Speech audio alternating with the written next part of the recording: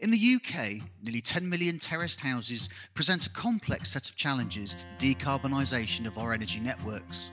Often older and energy inefficient, space restrictions preclude the use of current technologies such as air source heat pumps.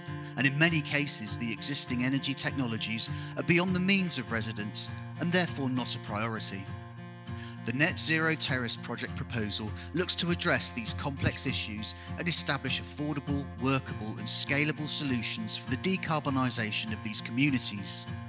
Collaboration with communities in Rossendale, Lancashire has allowed us to clarify the challenges and to propose technical options and methodologies using the latest thinking in community energy integration.